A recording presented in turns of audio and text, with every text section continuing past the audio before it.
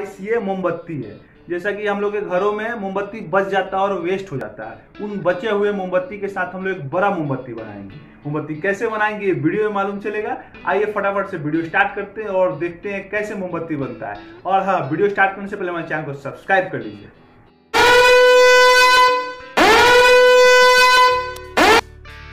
तो गाइस देख रहे हैं आप, ये बचा हुआ सारा मोमबत्ती है।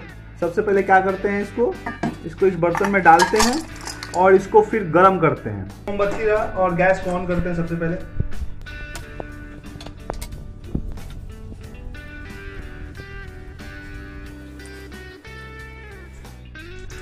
तो हमारा मोमबत्ती ऑलमोस्ट पिघल चुका है थोड़ा सा बाकी है।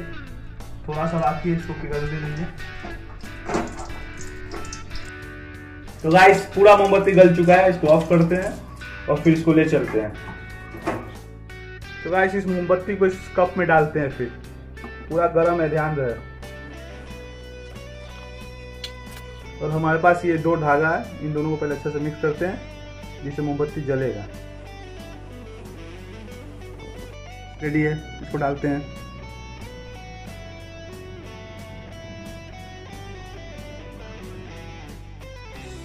तो गाइस हमने ये निकाल लिया। अब इसको अंदर कर दे। अब इसको छोड़ देते हैं जमने के लिए कुछ देर।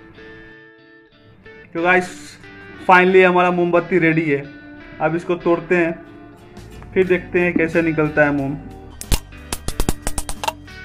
ओह माय गॉड क्या निकला है? लुक एट गाइस गाइस ये रेडी है।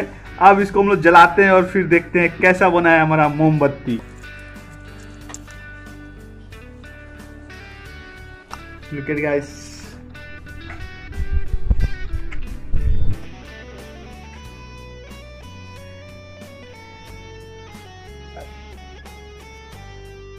तो गाइस आप भी ऐसे घर में मोमबत्ती बना सकते हैं। बहुत ही इजी और बहुत ही सिंपल तरीके से मोमबत्ती बन सकता है। गाइस अगर ये आइडिया आपको अच्छा लगा हो तो एक लाइक कर देना और साथ में शेयर भी कर देना।